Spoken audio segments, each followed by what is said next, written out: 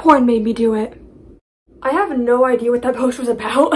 I thought that that image was pretty funny. Greetings, friends and foes, and welcome back to my YouTube channel. Did you miss me?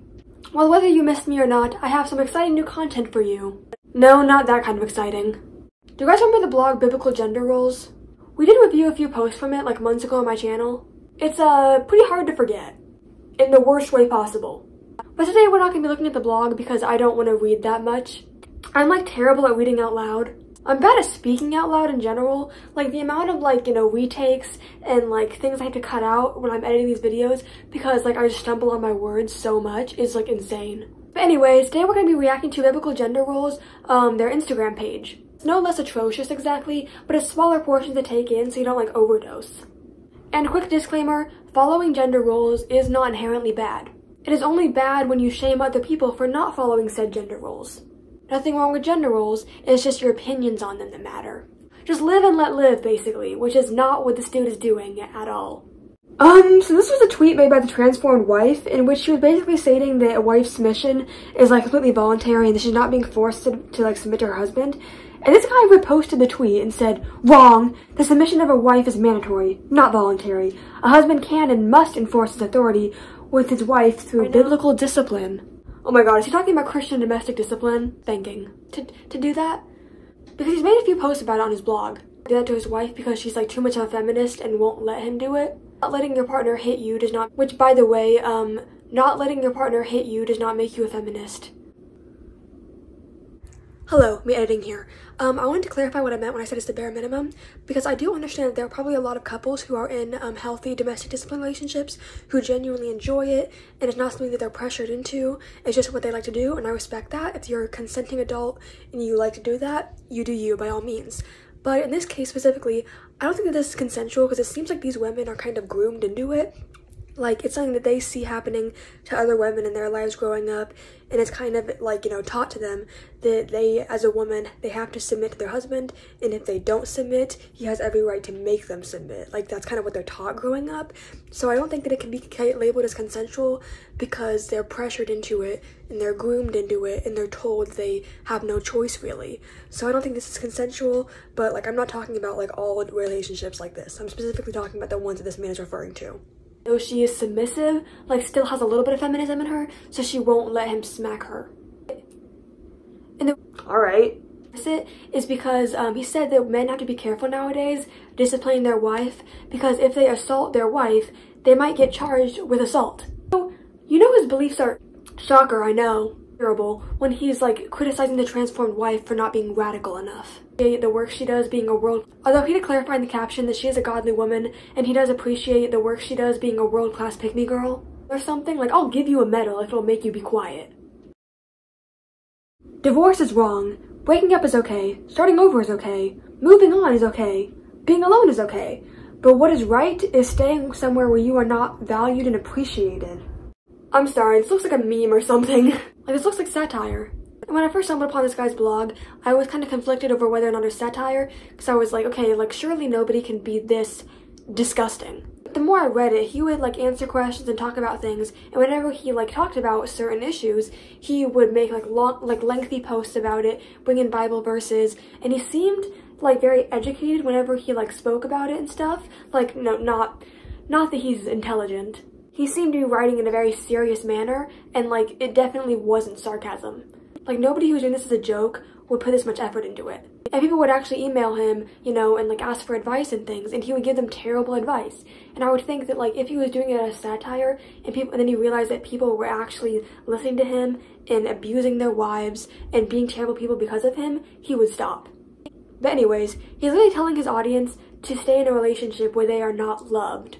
I thought you were supposed to love your spouse. Like, doesn't God say to, like, love thy neighbor and love thy spouse? Like, God wants you to appreciate your partner, right?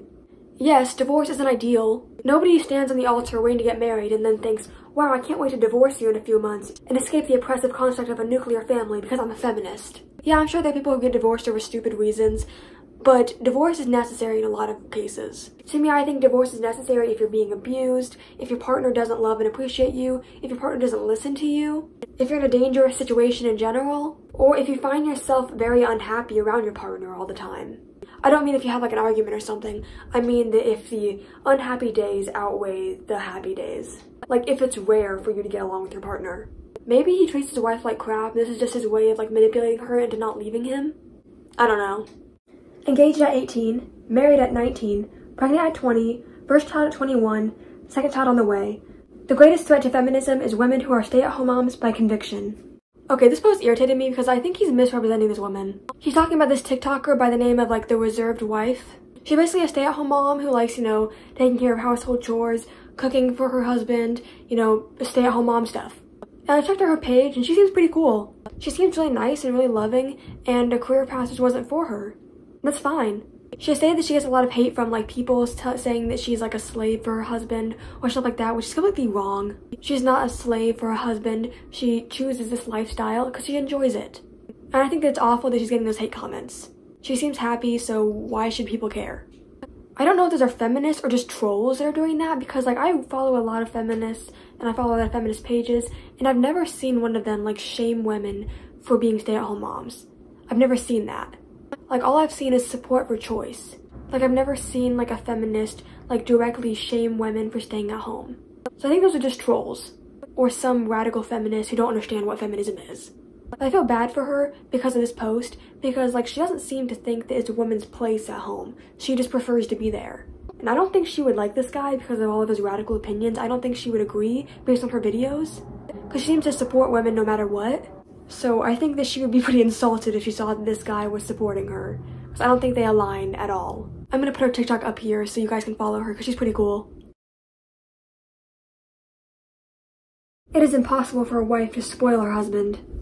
Okay, so he basically in the caption he explained that um, it's not possible for a wife to spoil her husband because she is not an authority figure over him because he is an authority figure over her and she is subordinate to him so therefore she cannot spoil him. He can spoil her, but she can't spoil him. And although spoiled is a term we usually use for children, I do definitely think that you can spoil your spouse. I don't think that buying somebody a ton of gifts is necessarily spoiling them because spoiling has negative connotations to it. And like if you have the money for it and they appreciate the gifts, who cares? To me, I think spoiling is when somebody you love does bad things and you like don't criticize them or don't hold them accountable for their actions. Like if your child or your friend or your partner or whoever like that's related to you in some way like keeps like you know making mistakes and doing bad things hurting people and you keep making excuses for them and you don't say hey what you're doing is wrong and as somebody who loves you i need to let you know that would be spoiling so it is possible for a husband to spoil his wife, and it's possible for a wife to spoil her husband. If her husband is making bad decisions, being unethical, being a bad person in general, and she keeps making excuses for him and not holding him accountable, that's her spoiling him. But I love how he's making this post and basically saying, like, oh, I don't have to give you whatever you want because I don't want to spoil you. Oh, you still have to give me whatever I want because you can't spoil me. It's impossible to spoil me. Like, the misogyny is so intense, and he wants it that way. Like, I don't even know how to change this guy's mind because a lot of people, if you tell them that they're being misogynistic, they're like, no, no, I'm not. But this guy, if I were to come up to him and say, hey, you're being misogynistic and really sexist, his response would be, that's actually the whole point. Like, I think he's too far gone by now. But luckily, I think he has a small enough platform to where most people are just making fun of him. Does the Bible require that women only wear dresses? Okay, I'm not to read the caption because I remember seeing a blog post from him about this issue and he was basically saying like, oh, some people say that Christian women should only wear dresses, but my wife's butt looks good in jeans, so I let her wear them. Like I remember he was like, oh, that was a cultural thing back then. Okay, and misogyny wasn't? Make it make sense. We should be concerned about the large-scale absence of male authority in the household rather than the small-scale abuse of it. Okay, when he says male authority in the household, is he talking about like men in general or like dominant men? Because if it's the first one, I have literally never heard somebody say we should abolish the nuclear family because men suck.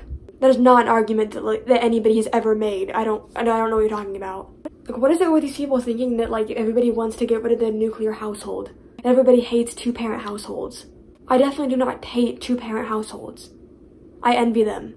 Any type of household is fine as long as everybody is happy and healthy and getting their needs met. Just because we don't like hate on divorced parents or single parents doesn't mean that we hate nuclear families. We're just saying it's okay not to be one. Your family isn't doomed if you're not a nuclear family. When you're talking about male authority, I definitely think that every member of the household should have a voice, even the kids. I think that the parents should have like more of a voice, obviously. You know, because children's brains aren't, aren't developed and they often don't make sound decisions whatever, and whatnot. I think they should still be listened to if they have a proper argument. And I think that like if you're somebody who you know that you're not great at decision making and you trust your partner more, then you should definitely let them like, you know, lead if you want to. Like there are a lot of women that prefer having their husbands lead and that's perfectly fine. And there are a lot of men that like having their wives lead because they think that they are better decision makers and that's fine too.